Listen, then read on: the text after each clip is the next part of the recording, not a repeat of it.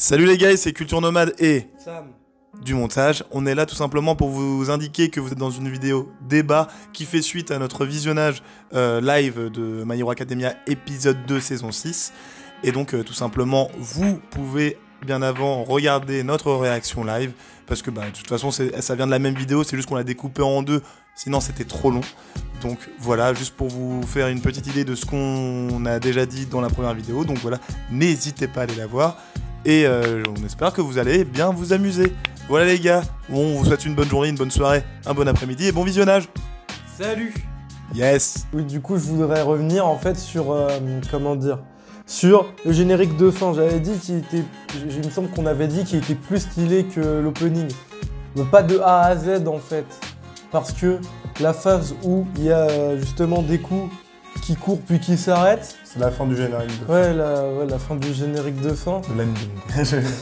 Ouais, et bah. euh, Ça fait un peu le même effet que de voir un freerider s'écraser, en fait. C'est-à-dire que tout ce que t'as tout ce que t'as vu avant c'est stylé, mais tu retiens que ça parce que tu souffres avec lui. D'accord. Et sinon l'épisode au global Ah, il était sympa, mais euh, c'est du même niveau que le dernier, on va dire. C'est Ah ouais toujours, oui, toujours 7 euh, sur 10.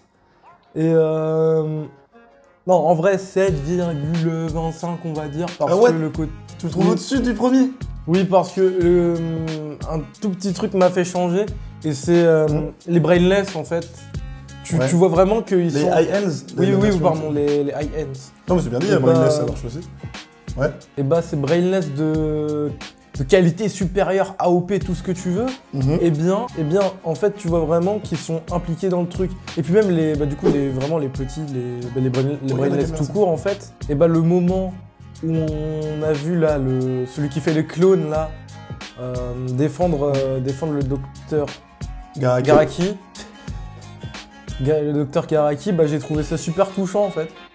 Ça fait un peu chien de garde. Je vois, parce qu'en plus, comment dire, enfin, pour revenir à ce petit brainless notamment, euh, c'est assez fou qu'il l'ait protégé de manière automatique. Parce que du coup, du coup tu sens vraiment qu'il a une affection potentielle pour le professeur. Alors que, bon, euh, moi, ce professeur-là, il me fait un peu penser à- au professeur, tu sais, de Full Metal Alchemist, là. enfin, le professeur, Le père de- l'alchimiste, ouais, le père de, de la petite qui a, fait, enfin, qui a fait fusionner sa fille avec son chien. Enfin, Oh. tout le monde a la scène en tête. Mais euh, au-delà de ça, les high-end, très stylé, etc. Je suis bien d'accord, mais euh, moi, je lui mettrais pas 7,25 du tout. Pourquoi? Je lui mettrais même un petit. euh, Enfin, je vous donnerai ma note après. Mais euh, parce que euh, l'animation concernant Mirko, elle était pas là. Moi, je trouve qu'ils ont loupé un que truc. Ils ont loupé un truc parce que l'intensité des combats dans, le manga, bah, je vais essayer de vous mettre une planche rapidement après. Je vous mets, une planche là pendant que je parle, mais euh, en fait, il y a beaucoup plus d'intensité que ce qu'on a vu là à l'écran. Là, le, là, l'animation, elle était pas au rendez-vous, et ça, ça m'énerve. Tu vois, par exemple, ils arrivent à mettre le paquet.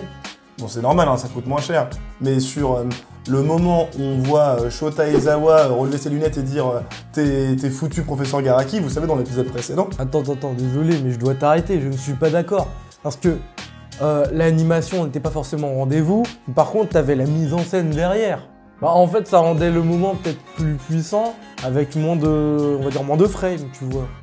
Qu'est-ce que- qu'est-ce qui, te fait dire que la mise en scène, elle était. euh, Alors, en fait, je crois, je crois que c'est pas seulement la mise en scène, mais aussi ce que t'as, ce qu'on a vécu avant, parce que euh, le moment avec Shota Aizawa, Eraser, Eraserhead, je crois, oui. C'est ça et ben, euh, il était beaucoup plus puissant, impactant, malgré le fait qu'il n'ait pas spécialement d'animation.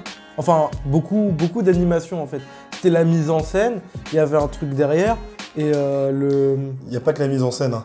Il y a pas que parce que la- la- la- l'animation sur cette euh, sur, le simple fait, sur le simple moment où il relève les lunettes, c'est mille fois mieux animé et dessiné que euh, l'affrontement de Mirko là contre les high ends.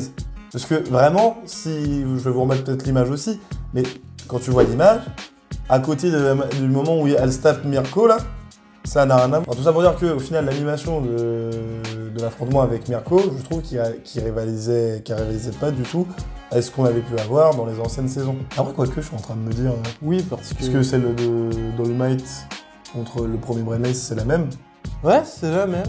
Pourquoi ça, ça, pour- ça marche pas avec moi J'ai j'ai l'impression, en fait, il y a eu peut-être un effet, euh, je sais pas, euh, Demon Slayer ou quoi, Mais euh, quand je vois ça, je me dis, euh, ils sont pas au max. Tu vois, et c'est ça qui me déçoit un peu. C'est comme ça que je le vois, parce que bon, après, même euh, l'affrontement, comment dire, for One versus All Might, c'était un tant soit peu pareil. Ouais, je sais pas, moi je suis quand même un peu déçu. Peut-être parce que c'est pas. Soit ils ont pas assez présenté Mirko, soit ils ont fait une concession en mode on met une animation quali mais pas trop quand même, comme ça on Mm. crée un effet de crescendo à la fin. Ouais, mais non. Bah, bah, ils sont pas censés faire ça. Enfin, Oui, pas besoin alors, de faire. Surtout qu'il n'y a même pas d'effet de crescendo parce qu'il y a une grosse pause. Enfin, c'est pas comme si. En fait, crescendo, c'est-. Pour moi, c'était si la- ça faisait ça tout, tout- tout du long. Là, ça a fait ça. Après, boum, on a eu une petite pause, on est revenu sur euh, je sais pas qui, je sais pas quoi. là. Enfin bref, il y a eu une pause dans l'intrigue. On est, rev- on est, euh, on est allé voir, euh, euh, comment dire, Gra- Grape Juice, là, le, le héros avec ses boules sur la tête. Et puis on est reparti avec Denki. Et tu vois, ça a fait ça. Du coup, c'est un peu dommage, quoi. Et euh, mais après, bon, par contre, Denki, je trouve qu'il y a eu son petit moment, cette petite relation avec, euh, avec euh, je sais plus comment il s'appelle non plus, la meuf avec les écouteurs, là, enfin, les, les- les câbles qu'elle peut brancher, enfin bref. Ça, c'est toujours aussi stylé, parce que moi, je l'avais lu, comme je l'ai dit, j'ai lu toute cette partie-là.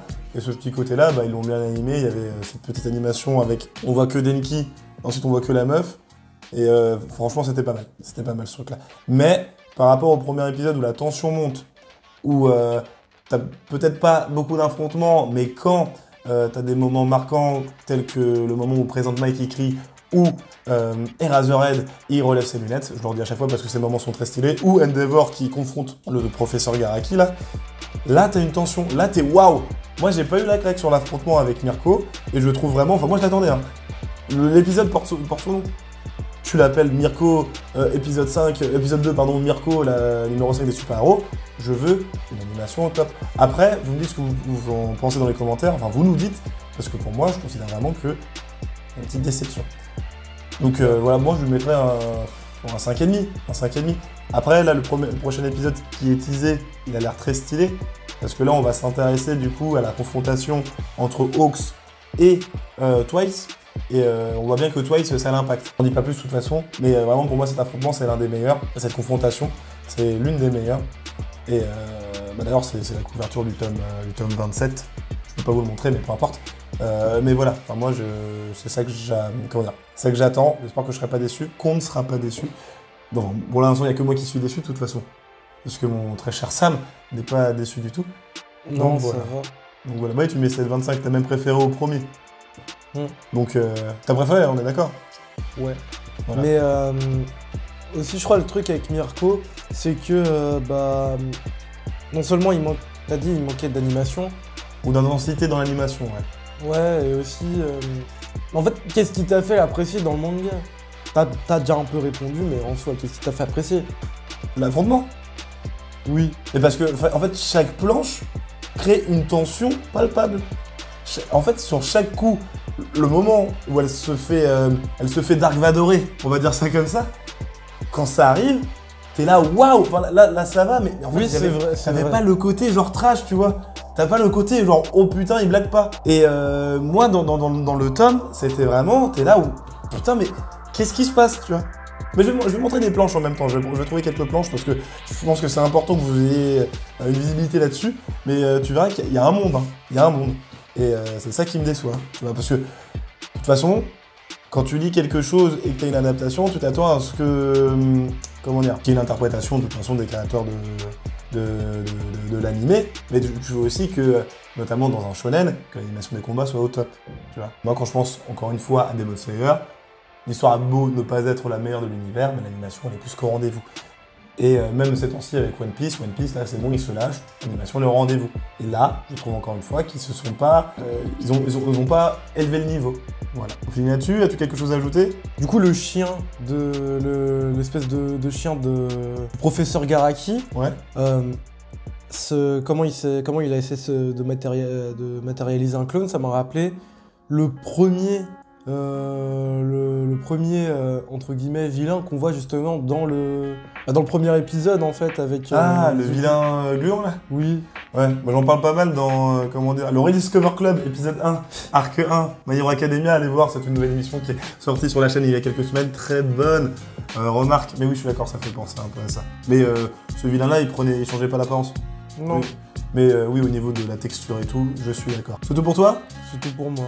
Bon voilà, messieurs dames, bah, je pense qu'on a fait du coup le tour euh, de tous les sujets qu'on voulait aborder dans cette vidéo. Peut-être que cette vidéo sera coupée en deux parties, on ne sait pas encore en fonction du temps euh, total euh, de notre débat là, parce qu'on a beaucoup débattu. On n'a pas envie de vous faire une vidéo de 35 minutes. Donc bah, merci de nous avoir regardé. Abonnez-vous, partagez la vidéo et lâchez un like, cela permettra de donner de la visibilité à la chaîne. Vous pouvez aussi me suivre sur mes différents réseaux sociaux que sont Twitter, TikTok et Instagram. Je poste régulièrement et euh, vous pouvez retrouver Samuel toujours sur la chaîne tous les samedis parce que normalement ce sera euh, tous les samedis que vous le retrouverez. Oui, voilà, bon, donc on va essayer de tourner les vidéos quand on pourra le samedi, on essaiera de se retrouver. À suivre, on a des downloads à charger, comme vous le savez, nous sommes des hommes pris. Ouais, ouais. Et du coup, voilà, donc euh, on a terminé cette vidéo. Il ne nous reste plus qu'à vous souhaiter une bonne journée, un bon après-midi, un bon week-end. Dans l'ordre que vous voulez. Merci parce que j'étais en train de perdre ma voix. Il ne nous reste plus qu'à vous dire à la prochaine. Dans de nouveaux univers. Salut Allez Wouh